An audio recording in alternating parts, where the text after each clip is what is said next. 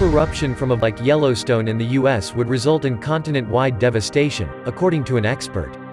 Volcanologist Clive Oppenheimer explained the explosive impact a supereruption would have on its surrounding area. During an interview with Express.co.uk, Mr. Oppenheimer explained that if supervolcano, Yellowstone, would experience a supereruption it would massively impact the U.S. The Yellowstone caldera was formed after three large erupts over the last 3 million years. These were the Huckleberry Ridge eruption 2.1 million years ago, the Mesa Falls eruption 1.3 million years ago and the Lava Creek eruption approximately 630,000 years ago. The volcano is located below Yellowstone National Park in Wyoming, U.S., and the area is constantly monitored by the United States Geological Survey for signs that another major event could occur.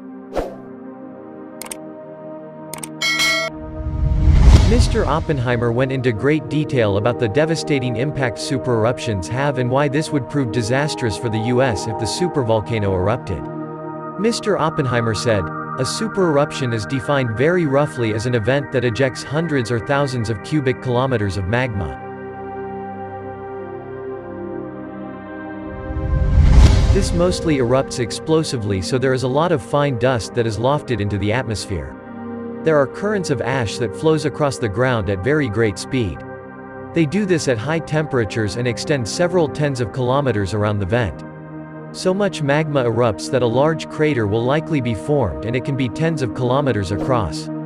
So there are very large earthquakes that are associated with that. A supereruption at Yellowstone would no doubt cause devastation for tourists and those who live close by to the area, the expert noted.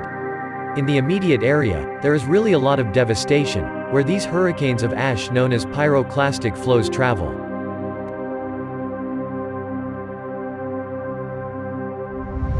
They would pretty much bury and burn anything that they come into contact with. There will be meters of the thickness of ash that falls out from the sky. The volcano expert explained that the devastation would eventually also impact the wider continent due to the sulfur spat out during eruptions.